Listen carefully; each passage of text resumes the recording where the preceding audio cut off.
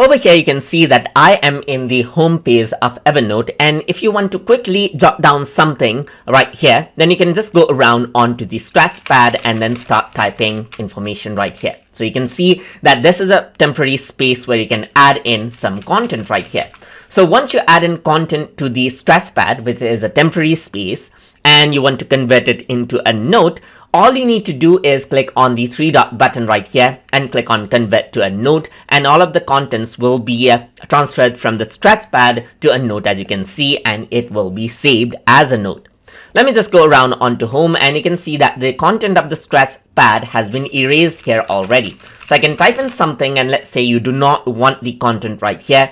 Then you can go around over here and clear out the scratch pad over here as well.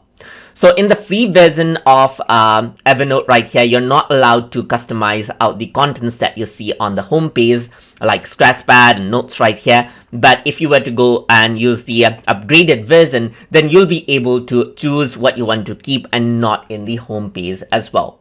So that is how you can utilize out the Scratchpad to quickly jot down notes and then you can even convert um, the Scratchpad contents into an actual note uh, inside of Evernote so hope you guys learned something as always. And as always, please like, comment, share, and subscribe.